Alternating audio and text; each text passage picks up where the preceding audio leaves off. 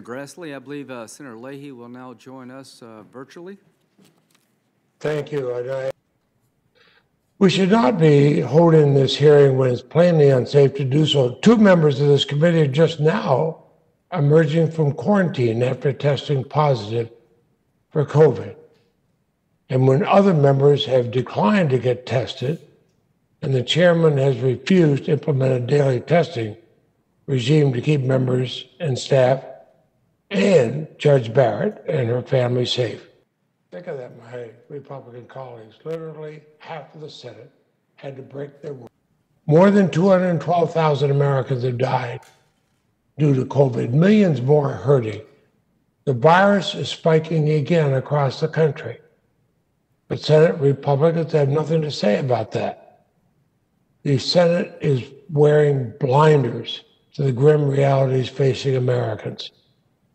Instead of talking about COVID and doing something to help the American people, we're engaged in this mad rush to fill a Supreme Court vacancy on the eve of a presidential election.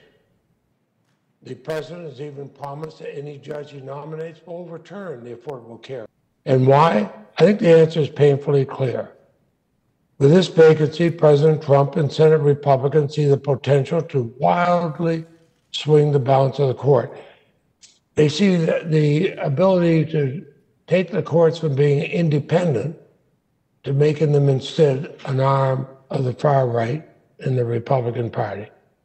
The potential to accomplish through the courts what they failed to accomplish by votes in the halls of Congress on the Supreme Court, but this isn't the way we should do it. We should not have had. They're scared that your confirmation would result in the rolling back of voting rights, workers' rights, and the rights of the LGBTQ community to equal treatment. These aren't just thoughts, these are real life implications of decisions made by the court. And a majority of Americans, like an overwhelming majority of my fellow Vermonters, don't support taking our country in that direction. All the time. Now think of another one.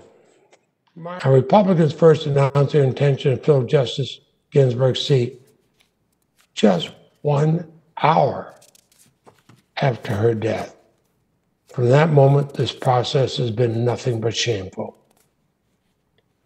Worse, it will almost certainly lead to disastrous consequences for Americans. Justice Ginsburg, I am certain, would have dissented, and I will too, on behalf of Vermonters, on behalf of the integrity of the Senate, and on behalf of the majority of Americans who oppose this process. The virus is spiking again across the country.